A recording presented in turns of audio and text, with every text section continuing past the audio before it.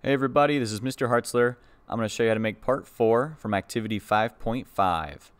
First thing we have to do is start a new part. We're going to start a sketch. This time on the YZ plane, a little bit different than we usually do.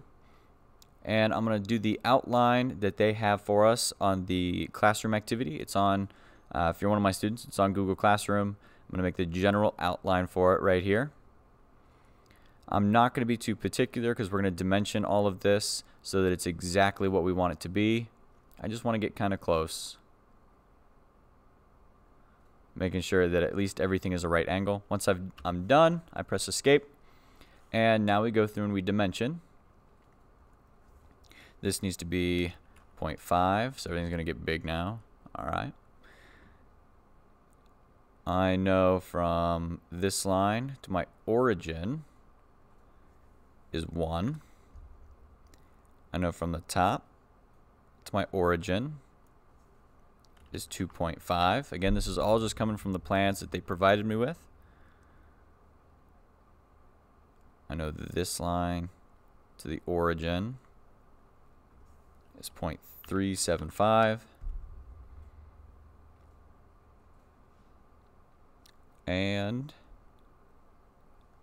this edge and this edge are 1. Alright, that should be everything.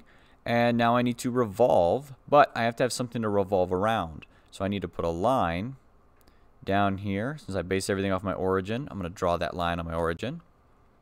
It doesn't matter how long that line is. Now I go to 3D model, revolve.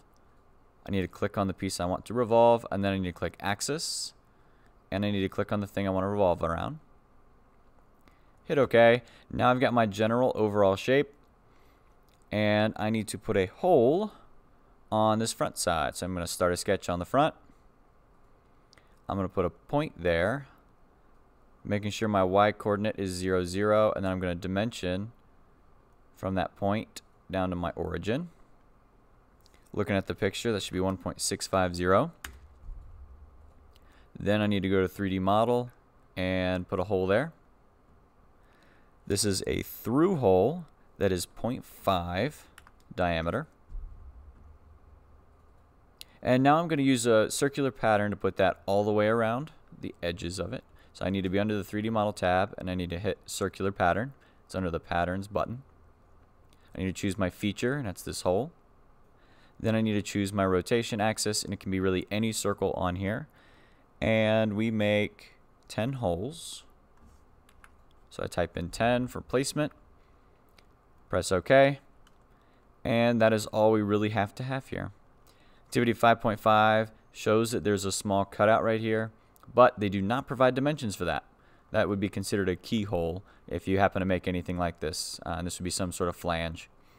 Hopefully this video was helpful. If it was, please click that subscribe button and watch the rest of my videos. And uh, if you did get anything good from this, please click that like button. If you want to see more of the stuff I do in my classroom, you can follow me on Instagram and Twitter.